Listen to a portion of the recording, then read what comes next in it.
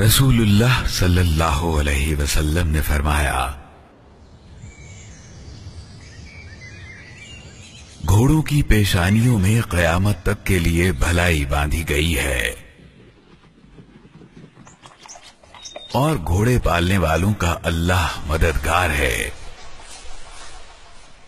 और उन पर खर्च करने वाले की मिसाल, सदका देने वाले की सी है।